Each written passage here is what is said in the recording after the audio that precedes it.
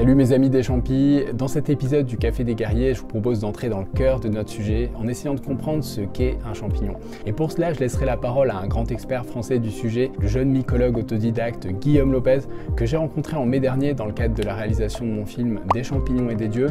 Au cours de cette vidéo, vous allez comprendre ce qu'est vraiment un champignon, pourquoi les champignons ne sont ni des plantes ni des animaux, d'où vient leur structure en réseau, de quand date l'apparition des champignons sur Terre et quel a été leur rôle dans le développement du monde dans lequel on vit. Et à la fin, vous comprendrez peut-être quelle est la grande force des champignons. Voilà, je vous souhaite un bon visionnage et je vous dis à très bientôt.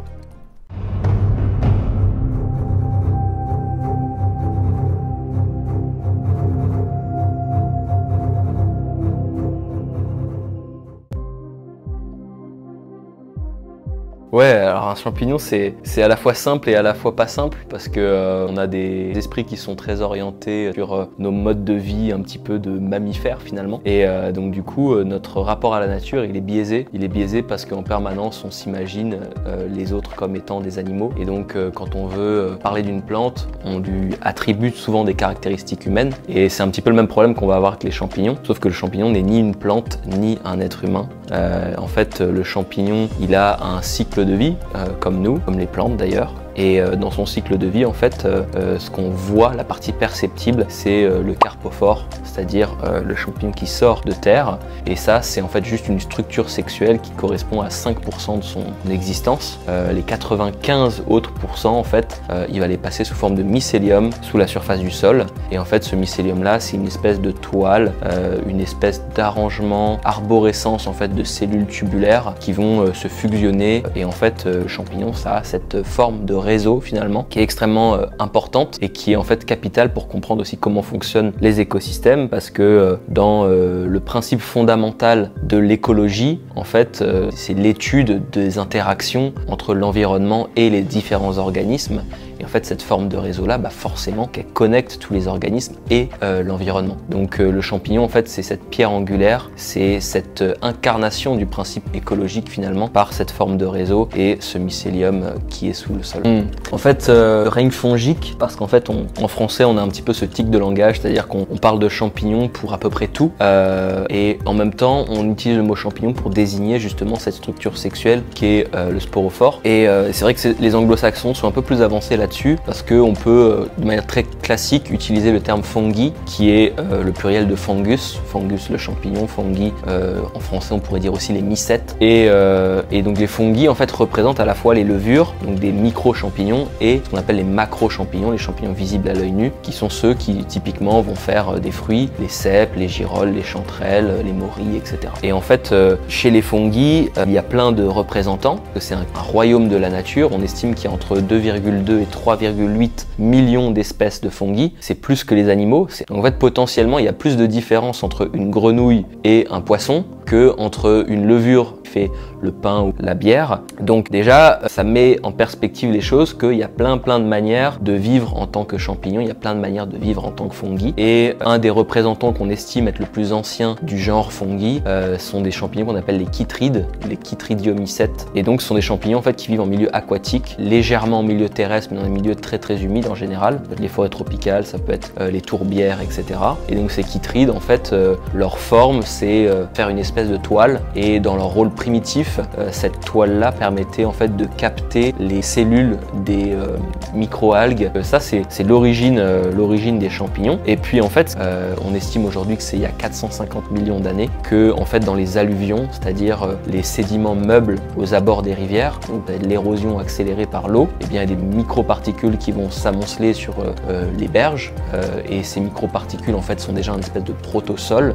pour que ce soit un sol, il faudrait simplement qu'il y ait de la vie, parce que le sol un super organisme. Et donc, euh, en fait, les champignons vont coloniser ces alluvions-là et euh, permettre, en fait, petit à petit à des algues de, euh, de se sortir de l'eau. Parce que, en fait, la contrainte majeure quand on est hors de l'océan, c'est la dissécation, c'est la sécheresse, en fait. là où on, a, on est dans un environnement où il y a pléthore d'eau, et ben là, on se retrouve dans un environnement qui va être très sec. Et dans cet environnement-là, il va falloir gérer justement comment est-ce qu'on fait pour récupérer de l'eau, comment est-ce qu'on fait pour récupérer également des minéraux, parce que l'eau de mer, c'est c'est une solution avec beaucoup de, bah, de sel forcément, mais il y a aussi beaucoup de magnésium, beaucoup de calcium, un pH très élevé, plein de minéraux en permanence, donc c'est même pas une question de savoir les récupérer. Et bah là sur Terre, les premiers challenges, c'est comment est-ce que je fais pour ne pas me déshydrater, récupérer de l'eau, et comment est-ce que j'ai accès à des minéraux. Et en fait, euh, ce qui va se passer, c'est qu'on a une symbiose qui se met en place entre ces êtres euh, autotrophes, que sont les algues, et euh, les champignons. Et donc l'algue, le partenaire algue, va apporter justement cette capacité de photosynthèse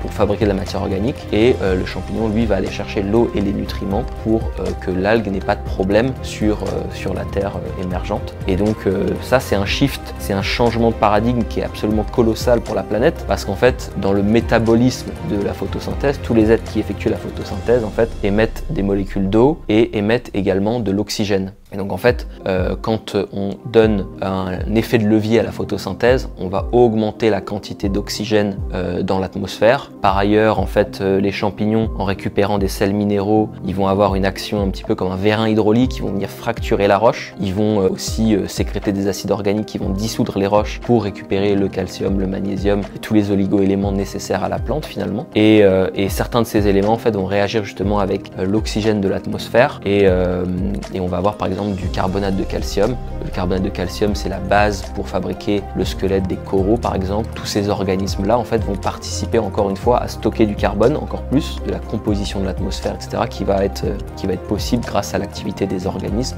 et notamment grâce à cet effet de levier que donnent les champignons aux végétaux c'est pas du tout faux. Euh, en fait, euh, encore une fois, quand on regarde une symbiose, et ça c'est particulièrement vrai euh, dans l'ancien temps en fait, où on n'avait même pas cette notion de symbiose, parce que encore une fois, le mycélium, le champignon, c'est un peu une métaphore de, je pense, la transformation qui doit devenir dans notre société. Et je te disais que le mycélium, en fait, c'est une arborescence avec des points de fusion et des points en fait de divergence. Donc ça va à la fois ramifier et à la fois ça va converger. Et en fait, aujourd'hui, notre vision sociétale, on parle souvent d'évolution, mais évolution, c'est évanescence. Donc en fait, l'évolution, ça serait ce truc qui ramifie toujours en se fracturant, se fracturant, se fracturant, et en allant vers toujours plus de diversité, mais en même temps qui se recroisent jamais. Et euh, c'est assez tardivement dans l'histoire de la biologie qu'on a introduit cette notion de symbiose, où en fait deux organismes qui étaient complètement différents, typiquement le champignon et la plante, puissent en fait venir en partenariat et en fait composer un organisme. Parce que euh, une plante, en fait, le réseau qu'elle a établi avec le champignon, euh, elle l'a établi 50 millions d'années avant d'avoir les premières racines.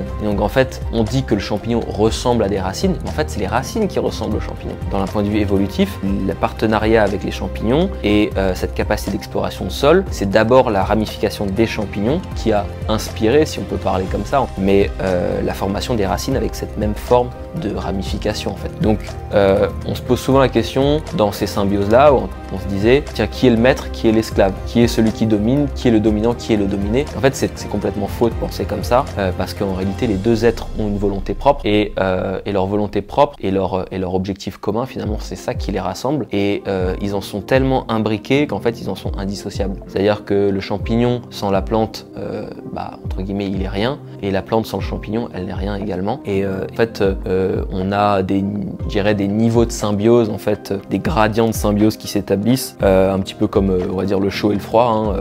Il y, a, des degrés différents dans la symbiose. La symbiose, c'est ce truc un petit peu comme ça, non défini. En fait, euh, encore une fois, il y a des degrés de symbiose différents euh, et, c'est un petit peu biaisé de se poser la question de qui est le maître, qui est l'esclave. Et donc pour ta question des, euh, bah, des, champignons et de la, domestication euh, champignons par les, algues et de la domestication des algues par les champignons, parce que c'est réciproque. En fait, euh, de ce point de vue-là, c'est tout à fait vrai que ce soit ce couple qui ait vraiment façonné la Terre. Et euh, pour citer un autre exemple de ce partenariat qui nous impacte aujourd'hui, en fait, les plantes, quand elles ont commencé donc à coloniser les terres émergées, rapidement, toute la place au sol était prise par ces films bactériens faits de champignons et d'algues. Et, donc, il a fallu commencer à s'ériger pour être le plus proche possible du soleil. Et donc, euh, on a eu différentes molécules qui ont commencé à voir le jour. Et, euh, et, la lignine, en fait, elle a une forme qui est très très anarchique d'un point de vue moléculaire. Et en fait, euh, comme les champignons, c'est un petit peu des magiciens métaboliques, qui ont une capacité absolument incroyable à faire de la recherche et développement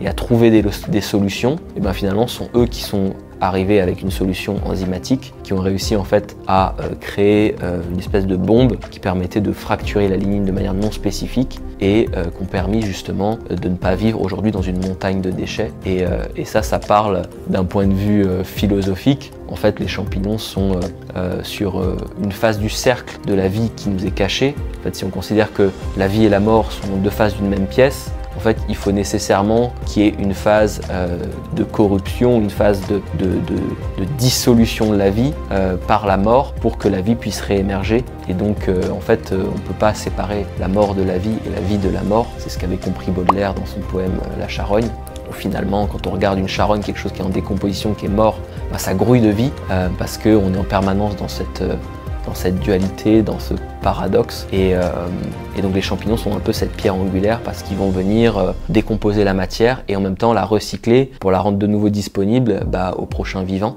Donc donc c'est la beauté du, champignon en fait. Ouais, bah en fait effectivement donc apparition de ces enzymes un peu non spécifiques euh, du champignon euh, qui, donc permettent de fracturer la lignine. Euh, c'est assez intéressant parce qu'en fait aujourd'hui on a beaucoup de, molécules qui sont d'une certaine manière similaires à des parties de la lignine. Et donc en fait le, champignon possède déjà enfoui dans son génome, parfois pleine de poussière, un peu comme un livre qu'on aurait laissé dans un coin d'une bibliothèque.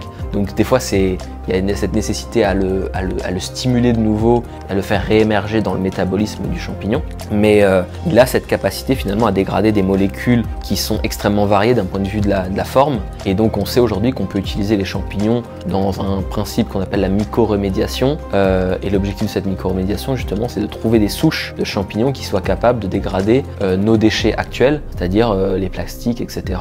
Et donc il y a un champignon qui a été trouvé par exemple au Pakistan dans une décharge à Islamabad qui avait justement développé cet arsenal enzymatique permettant de dégrader euh, certaines catégories de plastique. On a également un, mycologue, euh, un mycologue qui s'appelle Peter McCoy qui a spécifiquement en fait euh, entraîné une souche de pleurote pour dégrader les mégots de cigarettes qui sont un déchet qui sont ultra abondants avec beaucoup de, de comment on dit, de, métaux lourds, etc. dedans. Et euh, bien sûr, le champignon qui en résulte, il n'est pas comestible, mais par exemple, on peut faire après des matériaux de construction avec le champignon. Euh, on peut faire euh, du papier avec le champignon, on peut faire tout un tas de choses qui vont permettre de, finalement de figer cette matière-là et de la rendre complètement inerte parce qu'elle va être contenue dans le mycélium et donc elle va perdre sa capacité de polluer. Ce qu'on appelle en biologie chélatée, donc elle va être prisonnière dans une plus grande structure. Et cette plus grande structure là elle n'a pas de, pouvoir euh, de nuisance. Donc en fait euh, on, enveloppe comme ça euh, ce qui nuit dans un espèce de, noyau biologique un noyau organique. Et du coup on fait de quelque chose de dangereux quelque chose de complètement inerte. En fait je pense que ça c'est quelque chose qui est très naturel.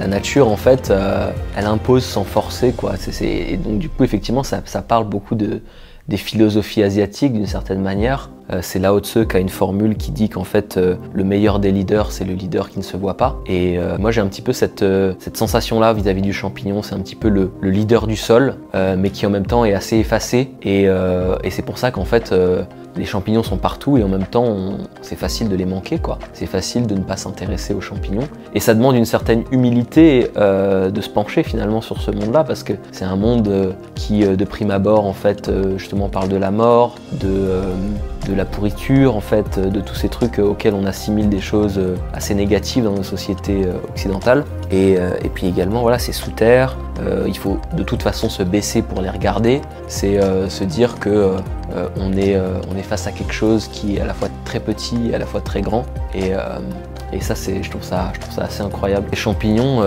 pour moi, en fait, c'est encore une fois un principe grec d'arché. le principe d'arché, en fait, c'est par exemple c'est la racine du mot architecture et du mot archéologie. L'architecture, c'est ce qui sous-tend, c'est ce qui maintient l'ordre, et l'archéologie, c'est ce qui est ancien, en fait. Et donc, il y a à la fois cette notion dans l'arché de maintien d'ordre et euh, de de, de, de, ce qui existe. Et en fait, euh, en général, c'est associé avec le terme d'origine en fait. Hein.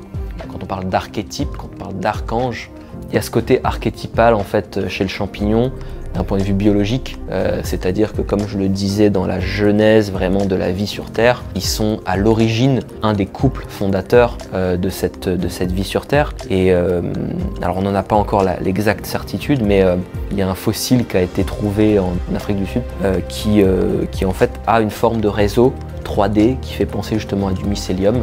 Et ce fossile a 2,4 milliards d'années. Euh, on estimait jusqu'alors que les champignons étaient âgés de 1,5 milliard d'années autour de ça. Euh, et, en fait, ça, bouleverse complètement notre compréhension de la biologie si les champignons sont euh, aussi antiques finalement dans l'apparition de la vie sur Terre parce que ça leur donne justement tout le loisir d'être la base sur laquelle se construit notre monde en fait et un petit peu une fondation euh, sur laquelle sont construits les écosystèmes. Et donc en fait, euh, à chaque fois qu'on a une crise, bah, qui dit crise dit en fait euh, cataclysme un petit peu. On a beaucoup de déchets, beaucoup de morts, beaucoup de, choses qui disparaissent. Hein. C'est ça qui caractérise une crise.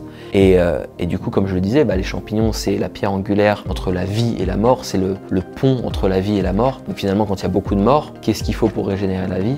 Il faut beaucoup de champignons d'une certaine manière. Et donc en fait les champignons en fait s'emparent finalement du monde après un cataclysme, régénèrent un petit peu euh, toute la matière euh, en, place et réinstallent la vie. Et, euh, ça c'est assez, frappant, c'est qu'en fait après les dinosaures, les dinosaures étaient majoritairement des êtres à sang froid et on sait que les êtres à sang froid sont plus susceptibles aux mycoses aux infections fongiques. Et en fait, euh, finalement, d'une certaine manière, les mammifères dont nous faisons partie ont été sélectionnés comme les nouveaux champions de l'arène euh, parce qu'on était des, êtres à sang chaud et que du coup, les champignons n'avaient pas encore euh, suffisamment évolué pour s'attaquer en fait à des organismes à, sang chaud. On était prémunis contre beaucoup de mycoses et c'est ce qui a permis en fait l'avènement aujourd'hui du règne des mammifères sur Terre. on est, on est les organismes dominants dans la sphère animale en tout cas. Alors tu, tu, soulèves un point super intéressant, c'est la forme de réseau effectivement dont j'ai pas parlé, mais en fait même dans notre société moderne, là on commence à voir l'émergence de la forme de réseau. On est obligé de passer par la science des réseaux aujourd'hui pour parler d'algorithmes, d'intelligence artificielle, de finance, de propagation des virus, euh, d'épidémiologie, Internet au, global. en fait, les, grands maîtres de la forme du réseau, c'est les champignons. Donc on va être obligé de passer par la case étude des champignons pour comprendre comment est-ce qu'on fait pour nous euh, perfectionner notre, euh, notre science des réseaux. Et effectivement, cette, cette forme de réseau, en fait, elle est super intéressante parce que quand on prend un champignon, en fait, c'est un organisme qui est presque hybride entre l'individu, la décision qui vient d'en haut et qui ruisselle vers la base, et en fait l'essaim qui est en fait auto-organisé presque avec une d'organismes qui vraiment s'auto-organisent. Et donc en fait, euh, la preuve en est des expériences qui ont été faites avec euh, le mycélium, où en fait quand on met du mycélium euh, dans une zone neutre, il va commencer par explorer de manière très uniforme cette zone-là, envoyer ce qu'on appelle des ifs, donc c'est ces petites cellules très très fines qui sont cinq fois plus fines qu'un cheveu humain, et qui vont donc en fait comme ça explorer le sol de manière assez homogène. Et dès qu'en fait elles vont avoir, vont trouver une, une source de nourriture, en fait, il va y avoir euh, une intelligence collective qui va se mettre en place, qui va dire ok bon les gars, euh, là quand vous allez par là, en fait vous allez rien trouver, donc arrêtez cette exploration là, réorganisez-vous de ce sens-là, parce que de ce sens-là vous allez tomber sur euh, de la nourriture. Et donc en fait, il y a à la fois cette capacité en fait à explorer le milieu de manière uniforme comme une troupe d'individus le, ferait, espèce de battu comme ça d'if qui explore le sol, et puis en même temps bah, dès qu'on a trouvé quelque chose, en fait tout le monde se réorganise pour, pour traquer le, le gibier. Et donc en fait les champignons sont capables d'être à plusieurs endroits à la fois d'une certaine manière parce qu'ils ont un caractère individuel avec cette pointe des ifs et en même temps euh, un caractère... Euh, chaque pointe d'if pourrait être considéré comme un individu et en même temps il y a une intelligence structurante d'intégralité du réseau. Et donc euh, pour parler de cette micro-rémédiation, en fait chaque if qui va rencontrer un nouveau polluant va commencer en fait à chercher à y répondre à y apporter une solution. Et si une réponse est trouvée en local, en direct, bah, elle va repartager cette réponse dans tout le réseau. Et donc l'intégralité du mycélium va avoir cette capacité métabolique de dégrader ce nouveau polluant. À chaque fois, on va réduire euh, le champignon avec des métaphores humaines. On ne peut pas s'empêcher de faire ça parce qu'à un moment donné, on est obligé de fixer quelque chose pour ancrer sa compréhension. Et en même temps, c'est toujours bien plus que ça en fait. Donc on, met des, cadres qui sont à la fois réducteurs et en même temps nécessaires pour euh, ancrer notre compréhension du monde fongique. Et euh, c'est ça qui est aussi complètement, euh, euh, hallucinant et intéressant à explorer ce monde fongique.